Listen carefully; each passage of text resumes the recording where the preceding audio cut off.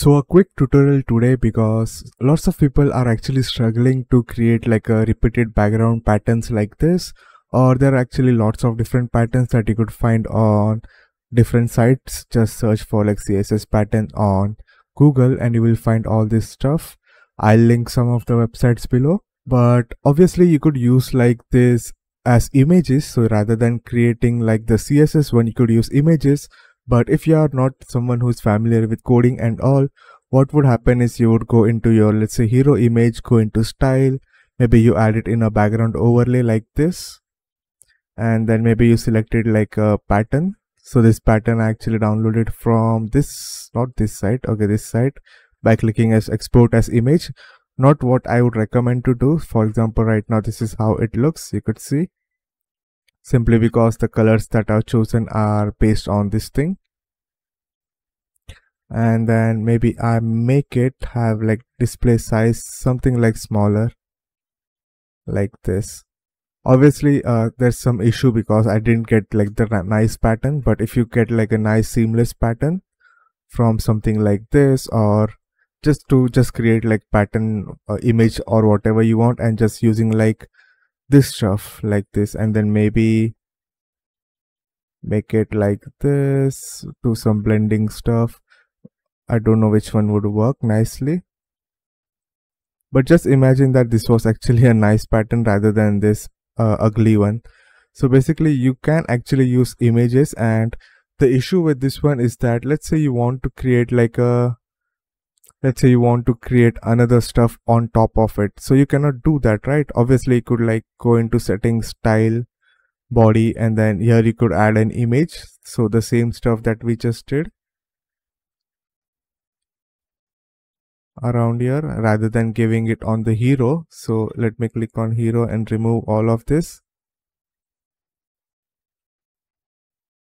And then let me remove the background. And you would see that we can still add it via our style tag and then add an image but obviously do some stuff like this to make sure it works.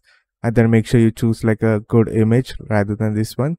And this is one method to do it but but it is not recommended because every time you want to do some changes you will need to like add some or you will need to go into photoshop do some changes and then add it then again go to photoshop if you don't like it if you if the size is different and stuff. So rather than that we will actually be using css to do this and i've already used a css on this page. So you could see this page has this effect and this whole page i'm going to like uh, create a tutorial on it. I've already created a tutorial on like some of the stuff like this stuff how to make it like all this stuff.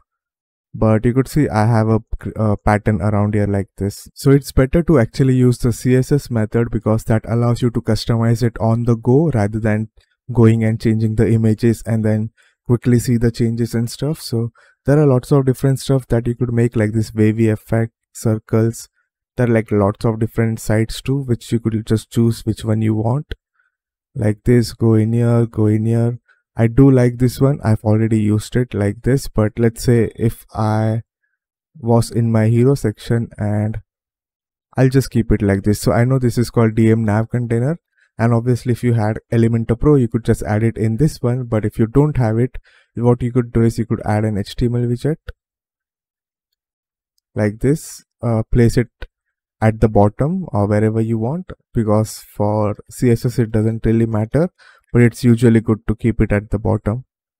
So you could see all my codes are at the bottom because these are like javascript too. Once we did that i'll call it uh, dot dmnav container because remember this one is called dmnav container.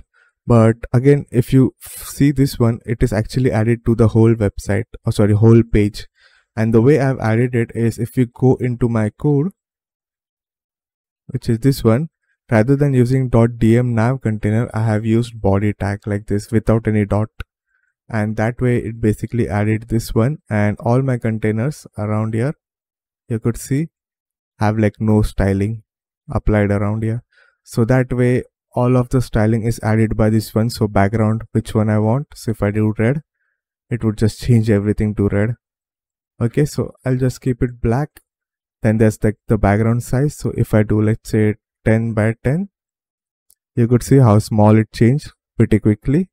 Let's keep it 100 by 100 and then here's the linear gradient stuff which is basically these lines you could see. So if i want this to be like very dark i can just make this to be one and i make this to one. This is rgba values by the way. So if i copy this one in here and then paste it rgba is basically this is red color green color blue color and then alpha. Uh, probably RGB you will get from the internet which color you want. And then alpha is like 0 is invisible 1 is visible. So dependent on how much visibility you want you could add it. Add it like 0.05 which is like very very subtle like this. And you could see it's very subtle and looks nice but let's say if you don't want to add it to the whole section like this all you simply need to do is uh, in my hero section it is called dm nav container. I've already added this html widget remember? Uh, dot dm nav container open it and then we can add the code inside of this one. So let's just try something else. Maybe let's try this one and then i'll make this one as white and then the background color as black. Okay we have to click on preview pattern like this. So this looks nice to me. I'll click on copy css code and then simply paste it around here and you could see it got replaced with this one. So this one is the background color which is like the black. So if i make this to i guess gray so you could see it is actually working if i remove this repeating layer. So basically it means that the color is being added by the repeating layer like this repeating linear gradient.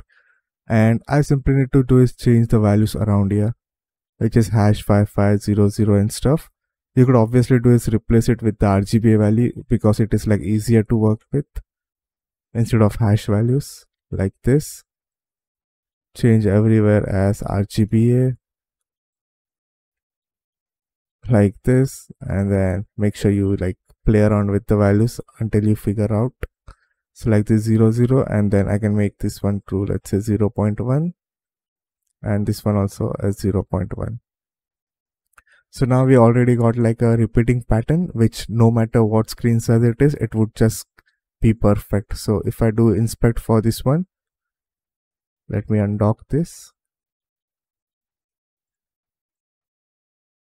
If I let's say stretch it a lot, you could see, I don't know if it's visible, maybe not.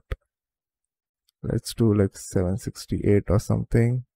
It's not visible because of this one but there is actually uh, borders happening around here. So you could see if I increase or decrease the size of my container the number of squares does not decrease. It just keeps on repeating and increase the value or decrease the value based on whatever the stuff that we have added. And there are like lots of different stuff around here okay? Which you could change the colors you could have like different own stylings and all but this is like the common one that i use. This uh graph paper kind of stuff. And yeah that's all like a pretty quick tutorial nothing crazy. You just have to change like the values inside of this to match your design. And yeah that's all. Thanks for watching. Goodbye